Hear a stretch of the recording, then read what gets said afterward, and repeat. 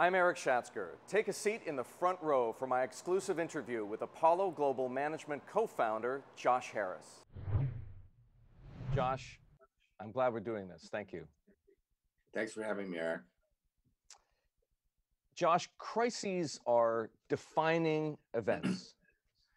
How do you think this crisis, the, the pandemic, um, is going to redefine the economy, financial markets, politics, perhaps, and maybe even our whole society?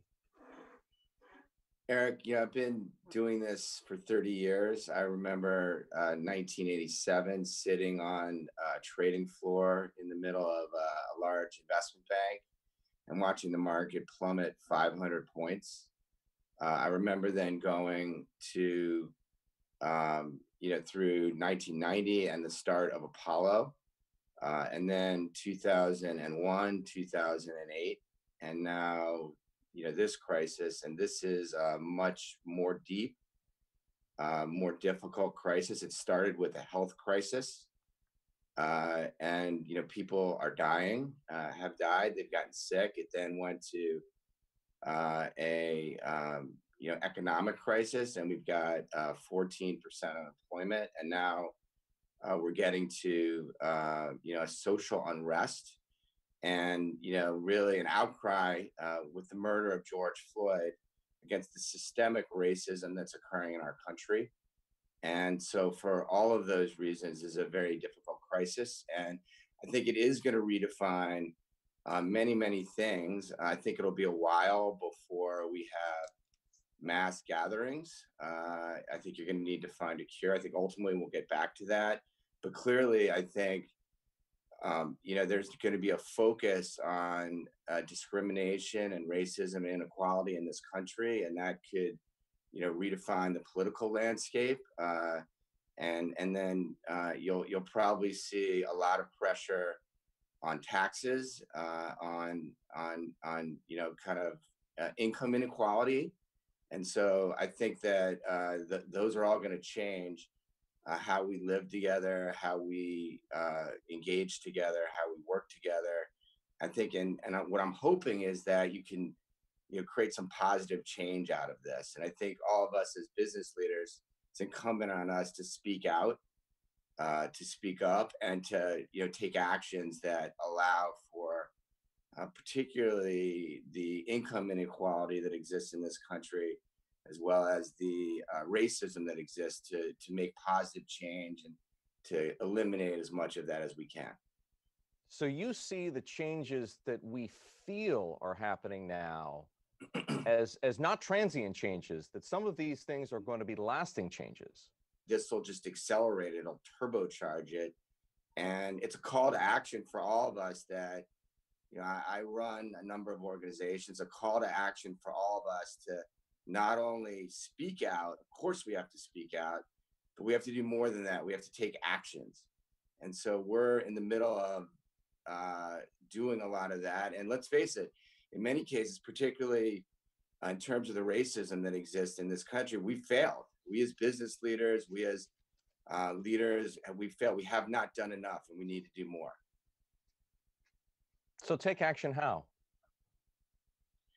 You know, it's everything from uh, you know how you hire and who's in leadership positions, and politically, you know what your priorities are, uh, how you spend your money, what organizations you give to, to um, you know to putting to it being issues focused around um, making sure that there's transparency uh, in terms of hiring practices and um, you know it's it's many many things. How long does it take the economy to properly recover? And when i'm talking about properly recovering i mean for companies right whose revenue and ebitda have vanished right to become profitable again. Are we talking about a year? Are we talking about two years? Are we talking about five years let me give you some historical context that's going to be different for every industry, but for the economy at large, um, if you unemployment today is 14% ish. uh, that 70% of the economy is driven by consumer spending. Uh, consumers, right? 15% of consumers in this country are unemployed. 15% are worried about their jobs. And then 40% of consumer spending is people that are over 55 years of age. And so all of those groups are impaired. They're not feeling confident. They're not spending. And so um, when I put that in con- historical context, the uh, financial crisis that occurred in 2008, unemployment uh, reached just over 10%. Uh, it took about three years. It took from till about 2010, 2011 for the economy to recover where it was before the financial crisis in 2007. And so that would be one bookend. In the Great Depression, where uh, unemployment reached 25%, so well above where we are today. Uh, it took about seven years. And so, as I think about the bookends, I think that we're somewhere between three and seven years. And I would just say, when you look at the stock market, and we haven't gotten to markets yet, but I'm sure we will, the stock market is building in a return to the 2019 GDP uh, earnings to earnings in 2021. That's the median estimate. The estimates are all over the place, but the median estimate is that 2021 is the same as 2019. And uh, we we we at Apollo um, don't really we think that is aggressive. Uh, we don't see that. We think the markets are a little bit divorced from the fundamental economy, and and and what we're seeing in our underlying portfolio, and therefore we believe that um, that's a little too aggressive, and we're underwriting things uh, depending on the industry at sort of four, five, even six year recovery trends. You're not a macro hedge fund. You're principally a credit investor. But based on what you just told me, if you were, would you be shorting the stock market? I would not be shorting the stock market, and certainly we do look at the stock market in this in the following sense. I think that what's driving the stock market today is the massive amount of government response, particularly the Fed's quantitative easing, the monetary authorities all over the world. If you think about it, uh, during the financial crisis, the Fed expanded its balance sheet about $3 trillion. In the last, that was the 10 years around the financial crisis. In the last two and a half months, the Fed has expanded its balance sheet about 2.6 trillion, and it has 3 trillion more that it can spend on securities based on the Treasury's authorization. And so it, it's put massive amounts of liquidity into the market.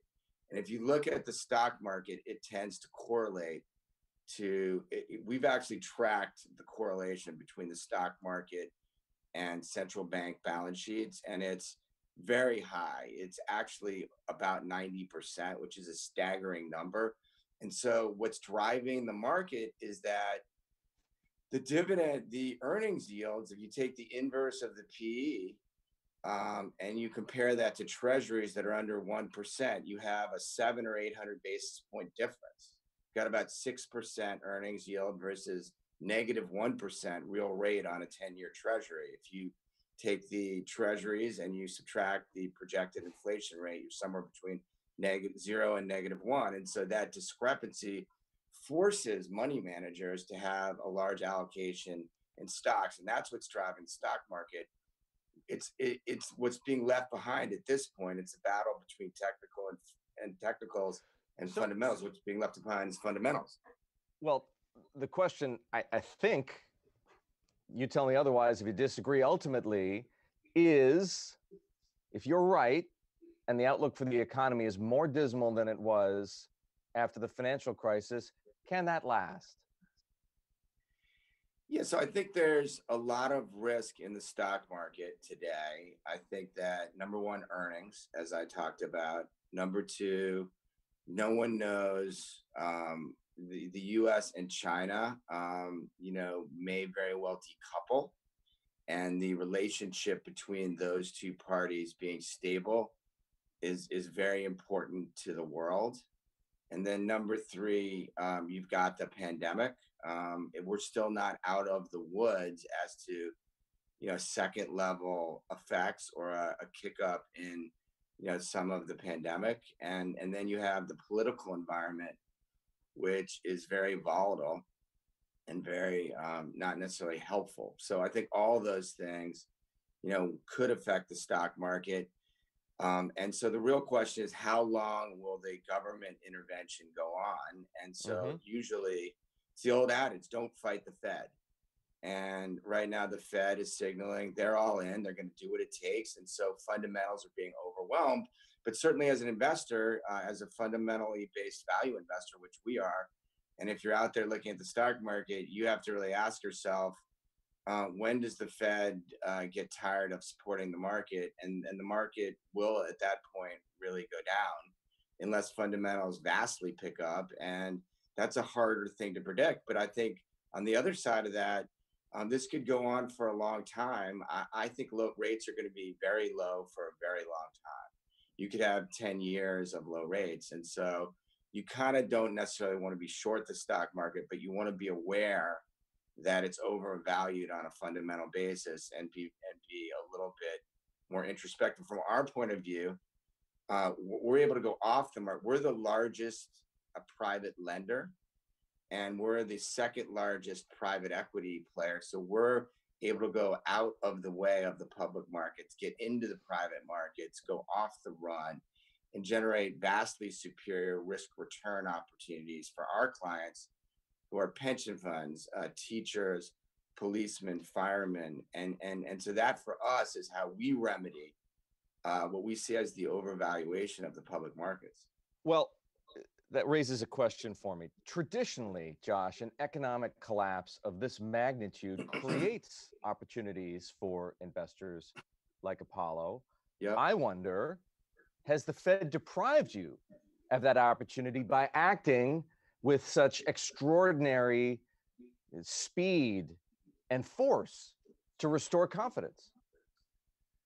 So we have a vast platform, Erik. We have 350 billion of assets today, and we have uh, many, many um, opportunities to be the lifeline to uh, companies uh, all over the U.S. and all over the world. And it's every and so the Fed money certainly has has made it harder, but um, since we're generally off the run uh, we're, we've been able to really get involved. And so, for example, uh, Main Street, the Main Street program at the Fed, had you know the the restrictions on that program, you know, it hasn't really been as effective as some of the other programs. And many many companies, and they've done a great job. So I don't I don't mean to denigrate what they've done. They've done an incredible job, but you know, there's we're lending to companies that have 20 million of EBITDA, that have 50 million of EBITDA.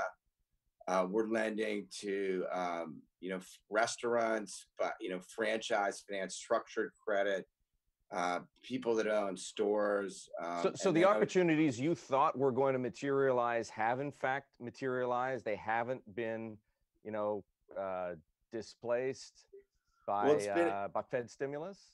it's been affected by it, but we spent over 50, we bought $50 billion of debt uh, in the first month and a half of the crisis. And, you know, and we lent some of the bigger things, we lent to companies like Expedia, world class companies, companies like Albertson, Mhm. world class companies, you know, very large supermarket chain. And, and and and they had access to other liquidity but for example, um, they didn't necessarily want to have the restrictions uh, that might have been on some of the Fed money, and but but most of what we're doing is below. You know, the Federal Reserve is doing a lot of stuff with government bonds. Mhm. It's doing a lot of stuff with triple a's It's doing some stuff buying the high yield index, but most of what we do is is is is private is is is below the size of those things and is a little bit lesser credit quality. And so the banks have been, in essence, uh, regulated in a way that they no longer uh, provide as much of the credit as they did. And so players like Apollo, we're the largest one with the biggest credit platform. We're able to step in and um, and and and sort of play the role of the lender that the banks used to be, and our investors, our clients, who need us to be agile, who need us to be on point during this type of, of, of a volatile environment. Uh, they're finding us. We we're raising in excess of twenty billion dollars right now, uh, and we have thirty plus billion of liquidity because we're at the the nexus of you know what's going on in credit right now, away from the Federal Reserve. Your firm has investments in some industries hard hit by the COVID 19 virus. I'm thinking of airlines, for example. I'm thinking of resorts, fast food, some energy. How badly are those investments struggling right now? And what have you had to do to bolster them, buttress them, if you will? We have a watch list, and only 5% of our portfolio is on that watch list. And of that 5%, we think that many of those companies uh, are, are going to be fine. And so, yes, certainly uh, we have a little bit of energy and a little bit of retail but um, we're in very good shape and we're now able to do what we've done in past uh, recessions past crises and be very agile and nimble and shift to buying uh, good companies with bad balance sheets uh, the financing markets today for alternatives even though the high yield market may be open um, the bank markets are not very open and the availability of financing to do more traditional buyouts is closed. So most of the industry is really working on a portfolio that's in much worse shape. And also, they're not able to do what they do, which is traditional buyouts. In our case, a third of what we've done over the years is this buying good companies, uh, buying the, the senior secured debt at the top of, of the of the capital structure, and then going through the restructuring process. And sometimes you need to go through a restructuring process to preserve jobs. If there's too much debt, you need to get rid of that debt. And we've had a demand shock. And so 100% of what we've been doing is is is is playing uh, is is buying that debt now and trying to work through the restructuring and we're playing about 95% offense eric and so you know this is our time you know this is when uh, our investors expect us to be a safe pair of hands and to be able to be agile and nimble and weave through uh, crises like this. And this is where we've outperformed. And I feel very proud of our team. And I think we continue to do that. What do you mean?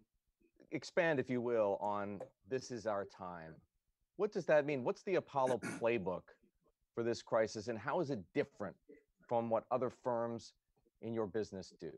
So the playbook, first of all, is to take care of your people, but then, you know, once you do that and you take care of the environment in which you're operating, um, you go into um, really acquiring uh, senior secured debt, acquiring debt, uh, across, you know, of companies or lending to companies that are in need, and um, making and and at the same time looking for those risk return opportunities that are uh, creating superior risk return for your clients. And we've done that cycle after cycle. We've, we've been in business 30 years.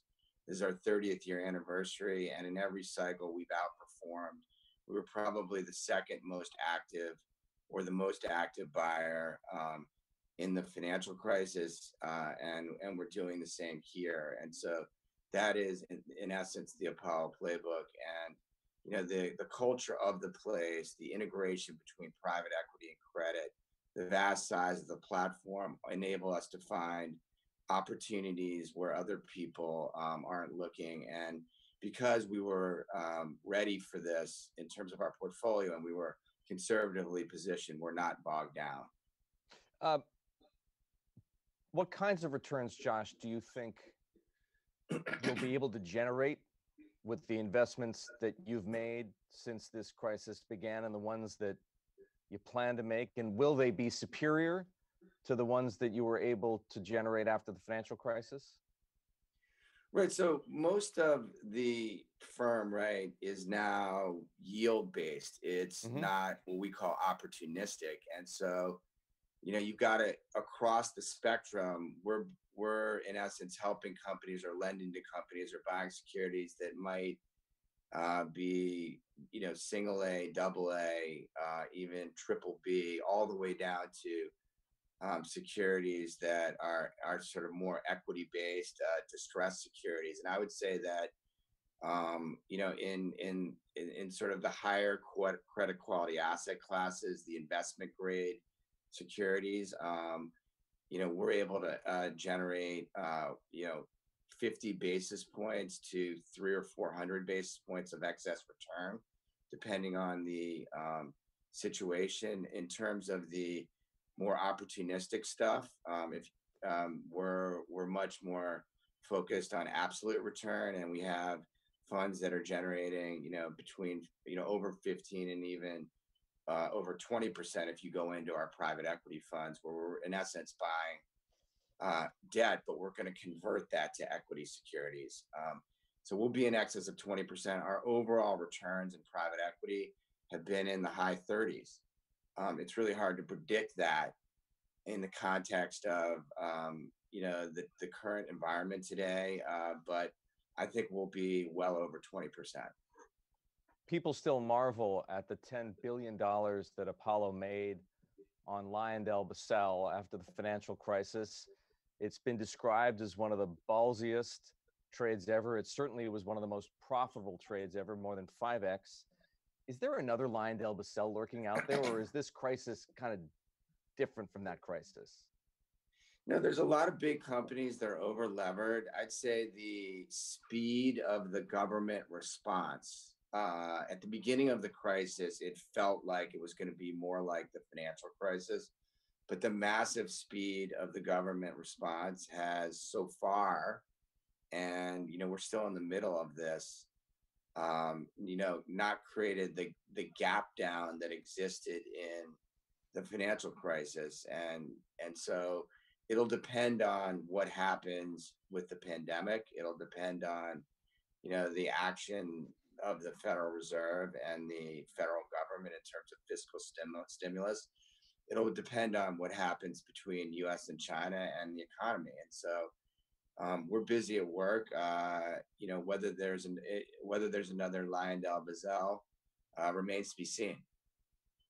uh, Apollo grew approximately 6x, right? Some $270 billion in assets under management from the end of 2009 to the end of 2019. Does it grow by 6x again over the next 10 years? We think that it's going to double over the next five years and then probably double again. You know, so I think uh, obviously the law of large, large numbers, um, you know, 6x uh, from a lower base is probably three to four x uh, from this base um, over 10 years. Uh, but we have an enormous amount of opportunity uh, in terms of you know our differentiation as um, a platform that has uh, you know massive permanent capital. 65% uh, of what we do is permanent has is now permanent capital.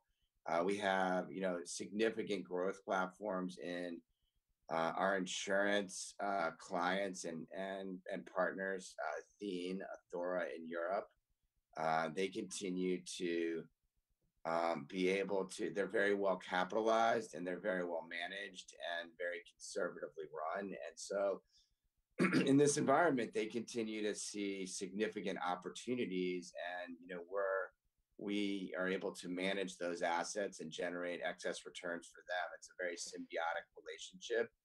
And then, you know, we generate superior returns. We generate superior returns in our um, in our private equity business. We generate superior returns in our credit businesses, and as a result, money tends to find us. And so our you know our client business away from our permanent capital business, our traditional alternatives business is also growing. And let's face it, alternatives is a good business. Um, more and more people are saying, um, okay, I have all this money in the public markets, the returns are very low. Government bonds yield 1%. Um, that's forcing investment grade bonds to three or 4%. I don't, that's not enough for me as a pension fund. That's not enough for me as a money manager. I need six or 8%. Is that trajectory to three or four times where you are now over the next decade or so a matter of doing more of what you're doing today? More credit, more private equity, more real assets, which is a smaller part of your business? Or do you see room or, or perhaps an attractive opportunity to, to, to broaden the business, to, to go lateral and, and do other things that you're not doing now?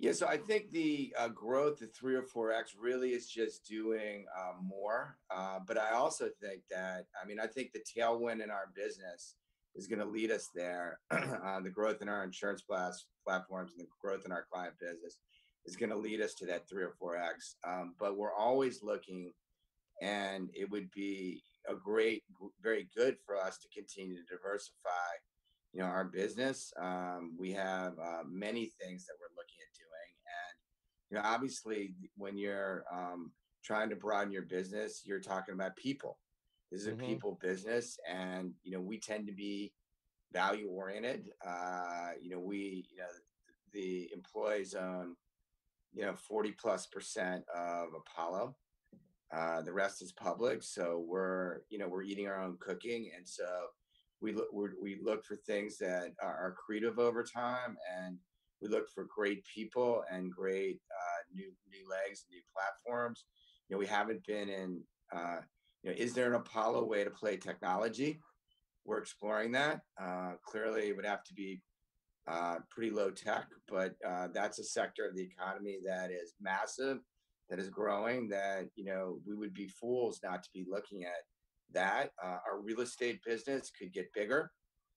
Um, so there are plenty of opportunities for us, but really we're we're we're lucky. We can just we can get to that three to four x just doing what we're doing now, and it's about execution, continuing to you know to invest, find those great uh, opportunities, and and generate the attractive risk return opportunities for our clients. the U.S. Department of Labor has opened the door for private equity to become part of 401k plans, the retirement savings of everyday Americans.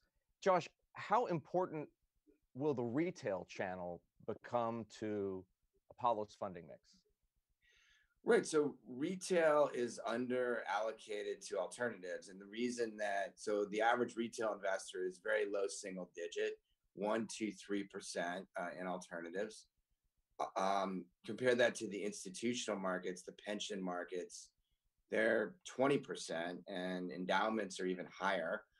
And the reason that more sophisticated investors are in alternatives is that the returns are just better. The returns are higher. They have been, they might continue to be. Exactly. So um, this is a democratization of it's making alternatives available to the common man and the common woman. And so it makes a lot of sense. I mean, obviously, uh, disclosure and making sure they understand that it's illiquid. You don't get the money back quickly. There can be volatility and so forth. Um, all of that needs to be handled, and that's what the uh, regu- regulations are trying to sort out. But certainly, this is uh, about the size of the institutional market, and it, it's going to be a very large and important leg for alternatives. And it's a new, in essence, growth platform. It's a new uh, way for you know more capital to flow in and so uh, for sure it's going to be a big part of what we do and we do already access this market through our insurance platforms uh, Athene and Athora are providing insurance to uh, men and women and uh, also through um, indirectly obviously and indirectly through mutual fund complexes and through high net worth channels but certainly what? this is a growing growing part of our platform I have a question for you that, that might feel a little uncomfortable. Those aren't necessarily bad things. So I don't need to tell you that Apollo has a reputation. Of course, I could summarize it, right, with a bunch of adjectives, but I would rather you take a stab at it. Why is it, Josh, that people don't like Apollo?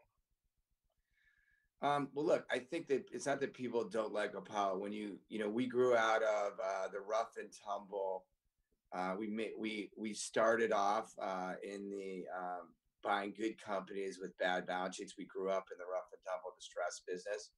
Uh, we're very tenacious. We tend to fight hard for our clients and push hard for that, the returns. And um, we also haven't done the greatest job of telling our story.